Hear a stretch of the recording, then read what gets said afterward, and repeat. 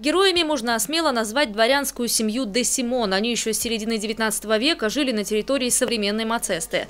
Там и сегодня сохранилось историческое название – ручей де Симон. Когда началась война, почти вся семья ушла на фронт. Отправилась на фронт Первой мировой и Алла Константиновна де Симон. Она была вдовой Александра де Симон и матерью 15 детей. Вот представьте себе, отправляется на фронт. Дело в том, что Алла Константиновна имела медицинское образование.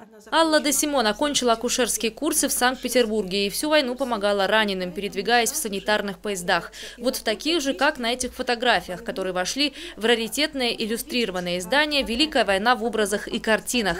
Это, например, посвящено событиям 1914-15 годов. Работали художники-иллюстраторы и работали фотографы, то есть военные корреспонденты, которые действительно наблюдали за ходом сражений, и вот э, их наблюдения вошли в эту книгу. Кроме того, на выставке можно увидеть и настоящую мину английского производства. Такими во время Первой мировой активно минировали Черное море.